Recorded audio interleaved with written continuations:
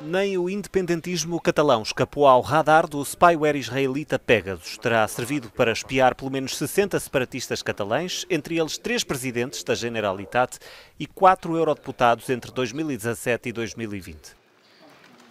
Está por provar se Carles Puigdemont, ex-presidente do governo catalão, foi um deles.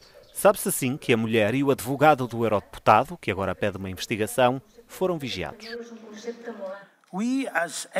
Nós, como eurodeputados e até um dos nossos assistentes, fomos espiados através do software Pegasus, enquanto trabalhávamos nesta casa, colocando em risco as comunicações de todo o Parlamento Europeu.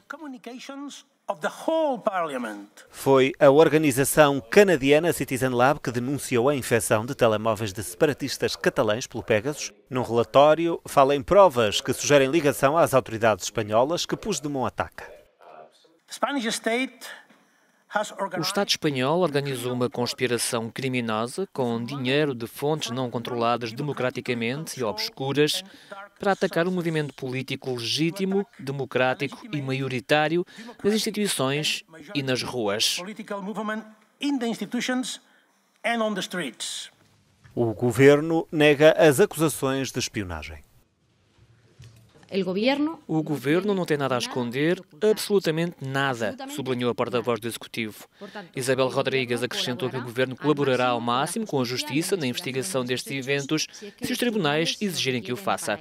Esta terça-feira iniciou os trabalhos uma comissão do Parlamento Europeu responsável por investigar as atividades do spyware Pegasus, que só pode ser adquirido por Estados ou governos.